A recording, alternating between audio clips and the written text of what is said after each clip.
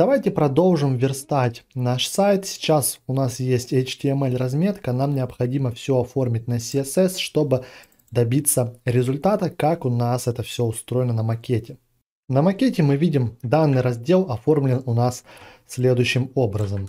У нас здесь есть заголовок, текст, 4 столбца и 2 столбца у кнопок. Мы это все оформили в HTML по отдельным разделам, например, buttons, у нас кнопки объединены и в cards объединены у нас отдельные элементы.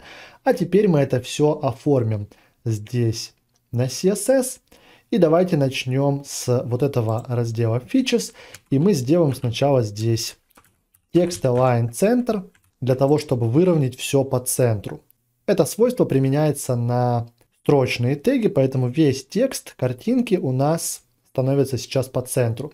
В соответствии с макетом здесь мы видим, что все выравнивается по центру, даже если эти столбцы у нас отдельные, но все центруется именно по центральной части вот этого отдельного элемента. Также, если мы выделим вот этот элемент и с помощью альта наведем на верхнюю часть или вот сюда на следующий блок, то мы видим здесь примерно по 170 пикселей пэддинг, снизу 172, сверху 171.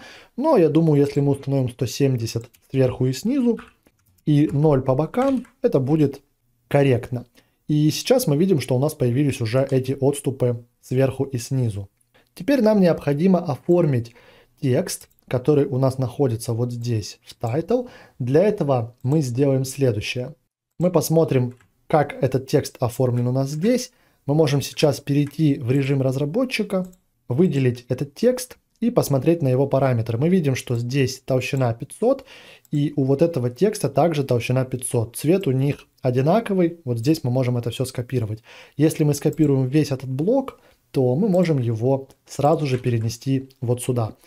Нам не нужен сейчас letter spacing, line height, нам не нужен font size и font family, но вот эти три свойства мы можем оставить. Текст align center здесь в принципе тоже нам не нужен, потому что он применяется для всего раздела одинаково. Далее давайте оформим наши элементы h2 и p, которые находятся у нас вот здесь в title. Сделаем для них такие селекторы. И сейчас очень быстро выделим этот элемент – копируем свойства шрифта, перенесем их вот сюда. И давайте также сделаем сразу же для заголовка. Посмотрим, что нам здесь нужно оставить. Цвет мы здесь убираем, потому что он у нас берется из родительского элемента, и нам его дублировать смысла нету. Текст transform uppercase мы оставим. Текст align left здесь не требуется, потому что этот заголовок выставлен у нас по центру. Letter spacing давайте поставим 1 пиксель, потому что в процентах здесь значение не будет корректно работать. Font weight нам также не нужно, потому что мы его указывали вот здесь в title. Line height также нам не надо и font family нам не требуется. То есть мы из всего, что скопировали, оставили только размер. Letter spacing установили в 1 пиксель, если нужно будет, мы его подкорректируем. И установили текст transform uppercase, чтобы все буквы были у нас в верхнем регистре. А для вот этого текста мы также уберем font family, оставим также размер, и все остальное здесь в принципе нам не потребуется. Этого будет достаточно. Мы можем установить здесь margin. Давайте это сделаем сразу же. Установим margin в значение 0, 0 и, например, 5. То есть у нас устанавливается 0 сверху, 0 слева и справа, и 5 это значение снизу. Нам нужен именно margin снизу, а остальные мержины мы обнуляем, потому что у заголовков H2 и у текста P как раз таки эти margin по дефолту присутствуют, но нам они не нужны. Нам нужно выставить все таким образом, чтобы эти элементы стояли на нужном расстоянии друг от друга. Сейчас вы видите снизу оранжевый отступ, это как раз таки вот этот margin здесь справа в разделе Styles это можно увидеть. Вы видите вот как раз таки значение margin 5. Если мы его будем вот так вот увеличивать, то оно будет меняться и отступ от заголовка до вот этого текста будет изменяться. Чтобы нам понять, как это все настроить в соответствии с макетом, мы, конечно, можем попробовать посмотреть здесь это расстояние 21 пиксель, но оно у нас в большинстве случаев совпадать не будет, потому что у текста как раз таки есть высота линии, у текста может быть выравнивание по нижней или по верхней части, и вот этот отступ, он меряется у нас, как вы видите, от рамки до рамки текста. Поэтому мы можем сделать следующим образом. В браузере вы можете найти вот такое расширение Perfect Pixel, вы видите автор, официальный сайт этого расширения, и вы просто его устанавливаете себе в браузер. После этого вы можете его запустить, и здесь появляется вот такое вот меню. Я уже неоднократно в предыдущих уроках по верстке показывал, как этим всем пользоваться, но сейчас мы еще раз все здесь настроим. У вас в первый раз будет вот такой вот внешний вид, и нам здесь необходимо добавить слой, то есть весь фрейм, который у нас есть здесь на макете. Мы можем сейчас выделить весь этот фрагмент и сохранить его, то есть экспортировать. Выйдем в режим дизайнера, нажмем здесь экспорт 1x png и экспортируем эту картинку, то есть весь наш фрейм сайта. После этого мы можем здесь добавить наш первый слой. Я его сохранил сюда в папку с проектом, выберу это изображение. И сейчас вы видите, у нас на фоне с прозрачностью появилось это изображение, и оно будет нам помогать выставлять все так, как нам требуется.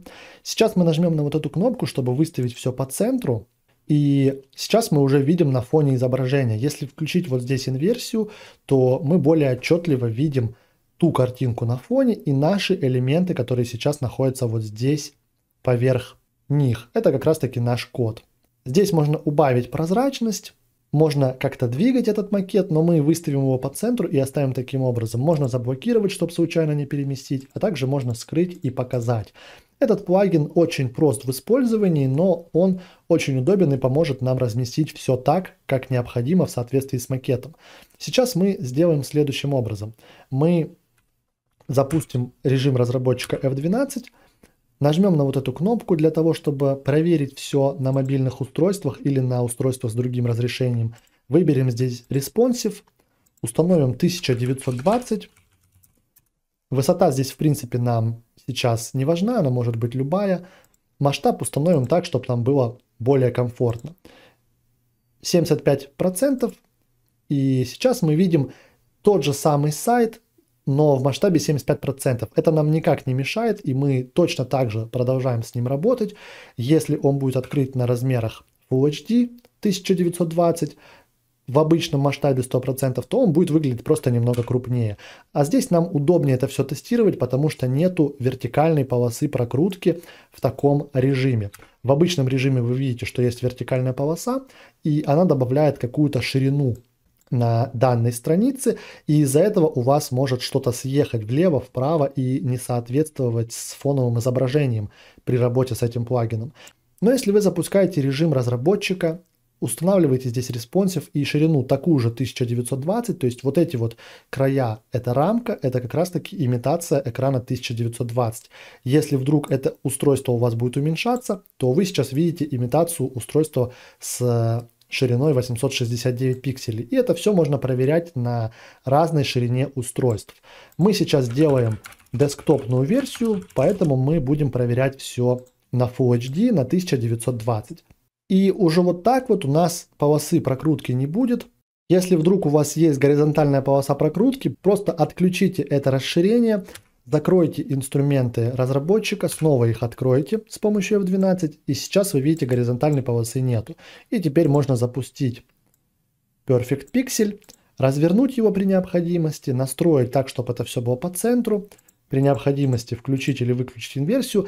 И вот теперь мы можем все это подгонять под необходимые позиции, то есть так, как это должно у нас быть в соответствии с макетом.